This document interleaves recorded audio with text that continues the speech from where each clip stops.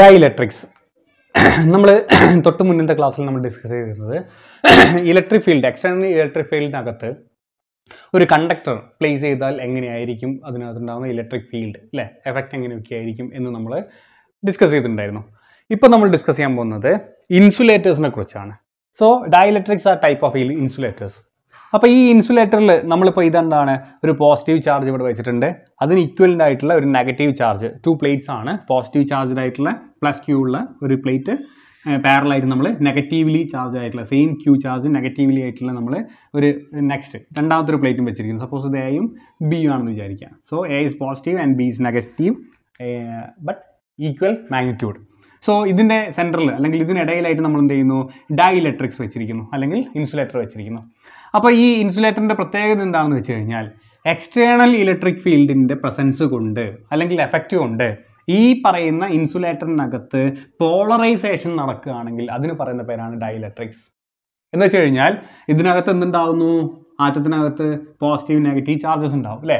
അപ്പോൾ ഇവിടെ എന്ത് ചെയ്യാണ്? ഈ എക്സ്റ്റേണൽ ഇലക്ട്രിക് ചാർജ് നമ്മളിപ്പോൾ ഇവിടെയാണ് external electric field plus to minus ആണ്. പ്ലസ് ക്യൂ ടു മൈനസ് ക്യൂയിലേക്കാണ് നമ്മൾ ഇലക്ട്രിക് ഫീൽഡിന്റെ ഡയറക്ഷൻ അതാണ് ഈ നോട്ട് എന്തുകൊണ്ട് കാണിച്ചിരിക്കുന്നത്? എക്സ്റ്റേണൽ ഇലക്ട്രിക് ഫീൽഡ് സോ ഈ എക്സ്റ്റേണൽ ഇലക്ട്രിക് ഫീൽഡിന്റെ പ്രസൻസ് കൊണ്ട് അല്ലെങ്കിൽ എഫക്റ്റ് കൊണ്ട് ഇതിനകത്ത് നമ്മൾ കഴിഞ്ഞ ക്ലാസ്സിൽ നമ്മൾ ഡിസ്കസ് ചെയ്ത സമയത്ത് കണ്ടക്ടറിനകത്ത് ഫ്രീ ഇലക്ട്രോൺസ് മൂവ് ചെയ്യുന്നു എന്ന് നമ്മൾ പഠിച്ചിട്ടുണ്ടായിരുന്നു അല്ലേ? അതുപോലെ ഇതിനകത്ത് എന്താണ് സംഭവിക്കുന്നത് വെച്ചാൽ പോളറൈസേഷൻ ആണ്. അതായത് നെഗറ്റീവ് ചാർജസ് എല്ലാം ഈ പറയുന്ന പ്ലസ് ക്യൂവിന്റെ ഡയറക്ഷനിലേക്ക് ഓറിയന്റ് ചെയ്യപ്പെടുകയും പോസിറ്റീവ് ചാർജസ് എല്ലാം ഈ പറയുന്ന നെഗറ്റീവ് ക്യൂ പ്ലേറ്റിന്റെ ഭാഗത്തേക്ക് സൈഡിലേക്ക് അല്ലെങ്കിൽ ആ ഡയറക്ഷനിലേക്ക് ഓറിയന്റ് ചെയ്യപ്പെടുകയും ഇത് പോളറൈസേഷൻ നടക്കുകയും ചെയ്യുന്നു. സപ്പോസ് ഇതിനകത്ത് എന്താ ഉണ്ടാകുന്നത് പ്ലസ് മൈനസ് ഇതേപോലെ തന്നെ എല്ലാം എല്ലാത്തിന്റെ ഓറിയന്റേഷനും പ്ലസ് മൈനസ് ഒരേ ഡയറക്ഷനിലേക്ക് ഓറിയന്റേഷൻ നടക്കുകയാണ് ചെയ്യുന്നത്. അപ്പം ഇങ്ങനെ പ്ലസ് മൈനസ് ഓറിയന്റേഷൻ അല്ലെങ്കിൽ പോളറൈസേഷൻ നടക്കുകയാണ്. അല്ലേ? അപ്പം ഇതിനെയാണ് നമ്മൾ ഡൈ ഇലക്ട്രിക്സ് എന്ന് പറയുന്നത്. അപ്പോൾ ഇവിടെ ഉണ്ടാകുന്ന ഇലക്ട്രിക് ഫീൽഡ് ഒരു പരിധിയിലധികമാണെങ്കിൽ നമ്മൾ വളരെ വലിയൊരു ഇലക്ട്രിക് ഫീൽഡ് എക്സ്റ്റേണലി നമ്മൾ അപ്ലൈ ചെയ്യുകയാണെങ്കിൽ ഈ പറയുന്ന ബോണ്ടിങ് ബ്രേക്ക് ആവും. അതായത് ഇലക്ട്രോൺസ് ഫ്രീ ആയിട്ട് പുറത്ത് വരാനും സാധ്യതയുണ്ട്. ഓക്കെ അപ്പോൾ ഇവിടെ നമ്മൾ തൽക്കാലം പോളറൈസേഷൻ മാത്രമാണ് നമ്മൾ കൺസിഡർ ചെയ്യുന്നത്.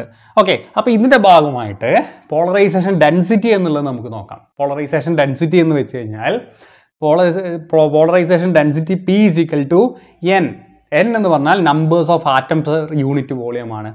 Small p induced dipole moment of each atom induced dipole moment of each atom into numbers of atom per unit വോളിയത്തിനാണ് നമ്മൾ എന്ത് പറയുന്നത്?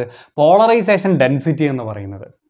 ഇവിടെ ഈ പറയുന്ന സ്മോൾ പി അല്ലെങ്കിൽ induced dipole moment of each atom എന്ന് പറയുന്നത് നമുക്ക് ആൽഫ അപ്സലോൺ നോട്ട് ഇ എന്ന് എഴുതാം. ഇ എന്ന് പറയുന്ന എക്സ്റ്റേണൽ ഇലക്ട്രിക് ഫീൽഡാണ് ആൽഫ എന്ന് പറയുന്ന അറ്റോമിക് പോളറൈസബിലിറ്റി ആണ്. സോ ഈ പോളറൈസേഷനെ നമ്മൾ പോളറൈസേഷൻ ഡെൻസിറ്റിയെ നമുക്ക് എന്തെങ്ങനെ എഴുതാം? Polarization density capital P is equal to n alpha epsilon naught E എന്നും നമുക്ക് എഴുതാം. ഓക്കെ അപ്പോൾ ഇവിടെ നമ്മൾ കഴിഞ്ഞ ക്ലാസ്സിൽ കണ്ടക്ടറിന്റെ കേസിൽ നമ്മൾ പറഞ്ഞ പോലെ തന്നെ ഈ പറയുന്ന ഡൈ ഇലക്ട്രിക്സിനകത്ത് ഇലക്ട്രിക് ഫീൽഡ് പ്രൊഡ്യൂസ് ആവും. അല്ലേ കാരണം എന്താണ്? പോസിറ്റീവ് ചാർജസ് എല്ലാം ഡൈപോൾ ഡൈപ്പോളിന്റെ ഭാഗമായിട്ട് പോളറൈസേഷന്റെ ഭാഗമായിട്ട് പോസിറ്റീവ് ചാർജസ് എല്ലാം ഒരു ഡയറക്ഷനിലേക്ക് ഓറിയന്റേഷനും നെഗറ്റീവ് ചാർജസ് എല്ലാം മറ്റ് ഓപ്പോസിറ്റ് ഡയറക്ഷനിലേക്ക് ഓറിയന്റേഷൻ നടക്കുന്ന സമയത്ത് ഡെഫിനറ്റ്ലി അവിടെ എന്തുണ്ടാവുന്നു ഓട്ടോമാറ്റിക്കലി അവിടെ ഇലക്ട്രിക് ഫീൽഡ് പ്രൊഡ്യൂസ് ആവും. അത് നമുക്ക് ഇ പി എന്ന് സൂചിപ്പിക്കുക കാരണം എന്താ? പോളറൈസേഷൻ കൊണ്ടാണ് ഇവിടെ ഇലക്ട്രിക് ഫീൽഡ് പ്രൊഡ്യൂസ് ആയിരിക്കുന്നത്. സോ നമുക്കതിനെ ഇ പി എന്ന് സൂചിപ്പിക്കാം. ഈ ഇ പി എന്ന് പറയുന്നത് എക്സ്റ്റേണൽ ഇലക്ട്രിക് ഫീൽഡിന്റെ ഓപ്പോസിറ്റ് ഡയറക്ഷനിലാണ് ഫോം ചെയ്യുന്നത്. ഓക്കെ സോ നമുക്ക് കഴിഞ്ഞ ക്ലാസ്സിൽ കണ്ടുപിടിച്ച പോലെ തന്നെ ഇതിനകത്തുണ്ടാവുന്ന നെറ്റ് ഇലക്ട്രിക് ഫീൽഡ് എത്രയാണ് എന്ന് കാൽക്കുലേറ്റ് ചെയ്യാം. എങ്ങനെയാണ് വരുന്നത്? Is equal to E naught minus E P so E naught എന്ന് പറയുന്നത് എന്താണ്? External electric field E P എന്ന് പറയുന്നത് ഏതാണ്? Polarize electric field due to polarization so അങ്ങനെ കിട്ടുന്ന ഈ ഡിഫറൻസിന് കിട്ടുന്ന ഇ അല്ലെങ്കിൽ നെറ്റ് ഇലക്ട്രിക് ഫീൽഡിനാണ് നമ്മൾ എന്ത് പറയുന്നത്? റെഡ്യൂസ്ഡ് ഇലക്ട്രിക് ഫീൽഡ് എന്ന് പറയുന്നത്. So reduced electric field is equal to E naught minus E P okay അപ്പം ഇവിടെ ഈ പറയുന്ന E naught divided by E അല്ലെങ്കിൽ ratio of E naught and E E naught എന്ന് പറയുന്നത് എക്സ്റ്റേണൽ ഇലക്ട്രിക് ഫീൽഡ് ഇ എന്ന് പറയുന്നത് reduced electric field so the ratio of external electric field and reduced electric field is known as K or dielectric constant so dielectric constant എന്ന് പറഞ്ഞാൽ എന്താണ്? E naught by E അല്ലെങ്കിൽ ratio of external electric field to reduced electric field so ഇവിടെ E naught എന്ന് പറയുന്നത് ഇനേക്കാൾ വലുതായിരിക്കും. കാരണം നമ്മൾ കണ്ടക്ടറിന്റെ കേസിൽ നമുക്കറിയാം ഇതിനകത്തുണ്ടായിരുന്ന ഇ ഐ എന്ന് പറയുന്നത് ഇ നോൺ ഈക്വൽ ആവുന്നത് വരെ ഫ്രീ ഇലക്ട്രോൺസ് കണ്ടിന്യൂസ്ലി ഫ്ലോ ചെയ്തുകൊണ്ടിരുന്നിരുന്നു. പക്ഷേ ഇവിടെ അങ്ങനെ നടക്കില്ല. ഈ കേസിൽ കണ്ടക്ടറിന്റെ ഇൻസുലേറ്ററിന്റെ കേസിൽ അങ്ങനെ ഉണ്ടാവില്ല. സോ അതുകൊണ്ട് always E naught is greater than E naught is greater than E P so നമുക്ക് എന്താണ് കിട്ടുന്നത്? E naught is always greater than E അതായത് എക്സ്റ്റേണൽ ഇലക്ട്രിക് ഫീൽഡ് ആയിരിക്കും എപ്പോഴും റെഡ്യൂസ്ഡ് ഇലക്ട്രിക് ഫീൽഡിനേക്കാൾ കൂടുതൽ. റെഡ്യൂസ്ഡ് ഇലക്ട്രിക് ഫീൽഡ് എന്ന് പറഞ്ഞാൽ എന്താണ്? ഇതിനകത്ത് ഓറിയന്റഡ് ആയിട്ടുള്ള നെറ്റ് ഇലക്ട്രിക് ഫീൽഡിനാണ് നമ്മൾ റെഡ്യൂസ്ഡ് ഇലക്ട്രിക് ഫീൽഡ് എന്ന് പറയുന്നത്. നമ്മൾ കണ്ടക്ടറിന്റെ കേസിൽ എന്തായിരുന്നു? ഇ ഐ എന്ന് പറയുന്നത് ഇ നോട്ട് ഈക്വൽ ആകുന്ന വരെ ഫ്രീ ഇലക്ട്രോൺസ് മൂവ് ചെയ്തുകൊണ്ടിരുന്നു. അല്ലേ ഓക്കെ സോ ഇവിടെ എന്താണ് നമുക്ക് E naught is greater than E എന്ന് കിട്ടുന്നു. എന്ന് വെച്ച് കഴിഞ്ഞാൽ ഇ നോട്ട് ഇനേക്കാൾ വലുതാണെങ്കിൽ that means K is greater than one അല്ലേ ഈ ഡയലക്ട്രിക് കോൺസ്റ്റന്റ് എന്ന് പറയുന്നത് വണ്ണിനേക്കാൾ വലുതായിരിക്കും. അല്ലേ ഇവിടെ ഇ നോട്ട് വലുതും ഇ ചെറുതുമാണ്. സോ കെ എന്ന് പറയുന്നത് ഓൾവേസ് ഗ്രേറ്റർ ദാൻ വൺ ആയിരിക്കും. ഓക്കെ ഇനി നമ്മൾ എടുക്കുന്നത് ഇൻ കണ്ടക്ടറിന്റെ കേസിൽ നമുക്കറിയാം. നമ്മൾ നേരത്തെ പറഞ്ഞിരുന്നത് എന്താണ് E equal to E naught my minus E I equal to zero ആണ് വരുന്നത് എന്ന് പറഞ്ഞിട്ടുണ്ടായിരുന്നു അല്ലേ? അങ്ങനെയാണെങ്കിൽ ഇതേപോലെ നോക്കൂ. ഇവിടെ നമ്മൾ ഈ കണ്ടക്ടറിന്റെ കേസിൽ നമ്മൾ ഈ പറയുന്ന രീതിയിൽ ഡയലക്ട്രിക് ആണെങ്കിൽ എന്താണ് വേണ്ടത്? ഡയലക്ട്രിക് എന്ന് പറയുന്നത് എന്താ? ഇ നോട്ട് മൈനസ് ഇ ആണ് വരുന്നത്. External electric field minus divided by reduced electric field so ഇവിടെ ഈ E zero minus E I എന്ന് പറഞ്ഞാണ് റെഡ്യൂസ്ഡ് ഇലക്ട്രിക് ഫീൽഡ് അത് സീറോ ആയിരിക്കും. So E naught by zero എന്ന് പറയുമ്പോൾ എന്താവും? ഇൻഫിനിറ്റി ആയിരിക്കും. So in the case of conductor the value of dielectric constant is always infinity. In free space free സ്പേസിന്റെ ആണ് നമ്മൾ എടുക്കുന്നതെങ്കിലോ E is equal to E naught അതായത് reduced electric field is always equal to external electric field so the value of K is equal to one right ഇനി നമ്മൾ നോക്കൂ നമുക്കറിയാം എന്താണ് E naught external electric field എന്ന് പറയുന്നത് to നമ്മൾ consider ചെയ്തിട്ടുണ്ടായിരുന്നു. രണ്ട് പാരലൽ പ്ലേറ്റ് വെച്ചിട്ട് ഫസ്റ്റ് സെക്കൻഡ് തേർഡ് റീജിയൻ എന്ന് പറഞ്ഞ് നമ്മൾ മുന്നേയുള്ള ക്ലാസ്സിൽ നമ്മൾ നോക്കിയിട്ടുണ്ടായിരുന്നു അല്ലേ? ഫസ്റ്റ് റീജിയൽ എത്രയാണ് ഇലക്ട്രിക് ഫീൽഡ് വരുന്നത്? ഇൻ ബിറ്റ്വീൻ പ്ലേറ്റിനിടയിൽ എത്ര വരുന്നു? തേർഡ് റീജിയൻ എത്ര വരുന്നു നമ്മൾ കാൽക്കുലേറ്റ് ചെയ്ത സമയത്ത് in between two parallel plate sheet അല്ലേ? പ്ലേ പാരലൽ പ്ലേറ്റ് ചാർജ് ഷീറ്റിന്റെ ഇടയിൽ നമ്മൾ കണ്ടിട്ടുണ്ടായിരുന്നു. ഇ നോട്ട് എന്ന് പറയുന്നത് സിഗ്മ ബൈ അപ്സലോ നോട്ടാണ് അപ്പോൾ ഇവിടെ നമുക്ക് എന്തെടുക്കാം? സിഗ്മ എന്ന് പറയുന്നത് എന്താണ്?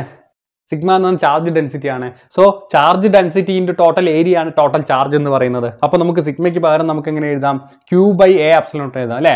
ക്യൂ എന്ന് പറയുന്നത് സിഗ്മ എ ആണ്. Then sigma equal to q by A എന്ന് എഴുതാം. സോ ഇത് നമുക്ക് ഇവിടെ സബ്സ്റ്റിറ്റ്യൂട്ട് ചെയ്യാം. സിഗ്മയ്ക്ക് പകരം ക്യൂ ബൈ എ സബ്സ്റ്റിറ്റ്യൂട്ട് ചെയ്യുന്നത് E naught equal to q by A epsilon naught എന്ന് വരും. അല്ലേ? ഇത് ഏതിന്റെ കേസിലാണ് നമ്മൾ ഈ രണ്ട് പ്ലെയിൻ ഷീറ്റ് കൺസിഡർ ചെയ്യുന്ന സമയത്താണ്. ഇത് നമ്മൾ ഇവിടെ എന്താക്കണേ? ഇതിനിടയിൽ കാരണം ഇവിടെയും പോളറൈസേഷൻ നടന്നിട്ടുണ്ട്. പ്ലസ് മൈനസ് ഡൈപോൾസ് ആയി മാറിയിട്ടുണ്ട്. രണ്ട് പോളിലേക്ക് മാറിയിട്ടുണ്ട് അല്ലേ? രണ്ട് പോൾസ് അവിടെ ഉണ്ടായിട്ടുണ്ട്. അപ്പോൾ ഇതിന്റെ ഇടയിൽ ഈ പറയുന്ന ഡൈലക്ട്രിക്സിന്റെ അകത്ത് ഫോം ചെയ്യുന്ന സമയത്ത് അവിടെ ഉണ്ടായിരുന്ന ഇ പി എന്ന് പറയുന്ന സമയത്ത് നമുക്ക് എന്താണ്? പോളറൈസ്ഡ് ഇലക്ട്രിക് ഫീൽഡ് എന്ന് പറഞ്ഞാൽ എന്തായിരിക്കണം? ഇതേപോലെ തന്നെ. എന്താണ്? ഇവിടെ സിഗ്മ ആണെങ്കിൽ ഇതിനിടയിൽ ആ ഡിഫറൻസ് കാണിക്കാൻ വേണ്ടിയിട്ട് സിഗ്മ ഡാഷ് സിഗ്മ പ്രൈം നമ്മൾ വെച്ചിട്ടുണ്ട്. Sigma prime divided by epsilon naught ആണ്. അപ്പോൾ q prime by A epsilon naught വരും. കാരണം സിഗ്മ എന്ന് പറയുന്നത് ഈ പ്ലേറ്റിന്റെ ചാർജ് ആണ്. ഇവിടെ നമ്മൾ ഇ പി നിൽക്കുന്ന സമയത്ത് ഈ ഡൈലക്ട്രിക്സിന്റെ അകത്ത് ഉണ്ടാവുന്ന ചാർജ് ഡെൻസിറ്റി ആണ് ആ പ്രൈം സോ അതിന്റെ രണ്ടിന്റെ ഡിഫറൻസ് കാണാൻ വേണ്ടിയിട്ടാണ് അവിടെ പ്രൈം ആഡ് ചെയ്തിട്ടുള്ളത്. അങ്ങനെയാണ് നോക്കൂ E zero minus E P ആണ് നമുക്ക് ഇ എന്ന് പറയുന്നത് അല്ലേ? E zero minus E P ആണ് നമുക്ക് ഇ എന്ന് പറയുന്നത്. സോ അത് കണ്ടു നോക്കാം. E equal D zero minus E P equal എന്ത് വരും? ക്യൂ മൈനസ് അല്ലേ ഇതിന്റെ വാല്യൂ എന്താണ്? E സീറോന്റെ value q by A epsilon naught ആണ്. മൈനസ് ഇ പിന്റെ value q prime by A epsilon naught ആണ്. So q by A epsilon naught minus q prime by A epsilon naught that means എന്താ വരുന്നത്? നമുക്കറിയാം കെന്റെ value എന്ന് പറയുന്നത് E zero by E ആണ് അല്ലേ കെന്റെ വാല്യൂ എന്ന് പറയുന്നത് ഇ സീറോ ബൈ ഇ ആണ്. ഓർ ഇ എന്ന് പറയുന്നത് എന്താണ്? ഇ സീറോ ബൈ കെ ആണ് അല്ലേ ഇ എന്ന് പറയുന്നത് ഇ സീറോ ബൈ കെ ആണ്. ഇവിടെ ഇ സീറോയുടെ വാല്യൂ നമുക്ക് ഓൾറെഡി അറിയാം. ക്യൂ ബൈ എ നോട്ടാണ് എ അപ്സലോ നോട്ടാണ് സോ ഈ വാല്യൂ നമുക്ക് ഇതിൽ സബ്സ്റ്റിറ്റ്യൂട്ട് ചെയ്യാം. ഈ ക്വേഷൻ സബ്സ്റ്റിറ്റ്യൂട്ട് ചെയ്താൽ ഈ സീറോന് വരെ ഈ വാല്യൂ സബ്സ്റ്റിറ്റ്യൂട്ട് ചെയ്യാൻ നമുക്ക് എന്ത് കിട്ടുന്നു? Is equal to q K A epsilon naught കിട്ടുന്നു. അല്ലേ? അങ്ങനെയാണെങ്കിൽ ഇത് എന്ത് നീക്കലിന്റെ ആണ്? ഇ എന്ന് പറയുന്നത് എന്ത് നീക്കലിന്റെ ആണ്? Q minus q prime divided by epsilon നീക്കലാണ് so is equal to q by K epsilon എന്ന് കിട്ടുന്നു. Is equal to q minus q prime divided by A epsilon കിട്ടുന്നു. സോ നമുക്ക് എങ്ങനെ എഴുതാം? Q by K A epsilon equal to q minus q prime divided by A epsilon കിട്ടുന്നു. അങ്ങനെയാണെങ്കിൽ നമുക്ക് ഇതിനെ നമുക്ക് എന്താക്കാം ഇവിടെ നോക്കും നിങ്ങൾ ഇവിടെ ക്യൂ കെ എന്ന് പറയുന്നത് നമ്മൾ ഈ ക്യൂ ബൈ കെ എന്ന് പറയുന്ന ഈ സൈഡിൽ തന്നെ വെക്കുന്നു. എ അപ്സലോട്ട് നമ്മൾ റൈറ്റ് ഹാൻഡ് സൈഡിൽ കൊണ്ടുപോയി കഴിഞ്ഞാൽ എ അപ്സലോട്ടും എ അപ്സലോട്ട് ക്യാൻസൽ ആയി പോകുന്നു. അപ്പം ലെഫ്റ്റ് സൈഡിൽ എന്തുണ്ടാവുന്നു? കെ ക്യൂ ബൈ കെ ഉണ്ടാവുന്നു. ഇക്വേഷന്റെ റൈറ്റ് സൈഡിൽ ക്യൂ മൈനസ് ക്യൂ പ്രൈം ഉണ്ടാവുന്നു. So then K q by K is equal to q minus q prime എന്നാണ് നമ്മൾ വയ്ക്കുന്നത് അങ്ങനെയാണ് ഈ ക്യൂ പ്രൈമിനെ നമ്മൾ ലെഫ്റ്റ് ഹാൻഡ് സൈഡിലേക്കും ക്യൂ ബൈ കെനെ റൈറ്റ് ഹാൻഡ് സൈഡിലേക്ക് കൊണ്ടുവന്നാൽ q prime is equal to q minus q by K എന്ന് കിട്ടുന്നു. ഈ ക്യൂ കോമൺ ആയതുകൊണ്ട് നമ്മൾ അതിനെ പുറത്തെടുത്ത് കഴിഞ്ഞാൽ q prime equal to q into one minus one by K എന്ന് കിട്ടുന്നു. എന്താണ് ക്യൂ പ്രൈം എന്ന് പറയുന്നത്? ഈ ഡയലക്ട്രിക് മെറ്റീരിയലിനകത്ത് ഇൻഡ്യൂസ് ചെയ്യപ്പെടുന്ന ചാർജിനെയാണ് ക്യൂ പ്രൈം എന്ന് പറയുന്നത്. സോ ഇതെന്തിനുള്ള ഇക്വേഷനാണ് രണ്ട് പാരലൽ പ്ലേറ്റ് ചാർജ്ഡ് ആയിട്ടുള്ള രണ്ട് പാരലൽ പ്ലേറ്റിനിടയിൽ ഒരു ഡയലക്ട്രിക് മെറ്റീരിയൽ വെച്ച് കഴിഞ്ഞാൽ ആ ഡയലക്ട്രിക് കോൺസ്റ്റന്റ് നമുക്കറിയാമെങ്കിൽ നമുക്ക് ഈ പറയുന്ന മെറ്റീരിയലിന്റെ അകത്ത് ഇൻഡ്യൂസ് ചെയ്യപ്പെടുന്ന ചാർജ് നമുക്ക് കാൽക്കുലേറ്റ് ചെയ്യാം. എങ്ങനെ കാൽക്കുലേറ്റ് ചെയ്യാം? ആ നമ്മൾ അപ്ലൈ ചെയ്തിരിക്കുന്ന പ്ലേറ്റിന്റെ charge into one minus one by dielectric constant of the material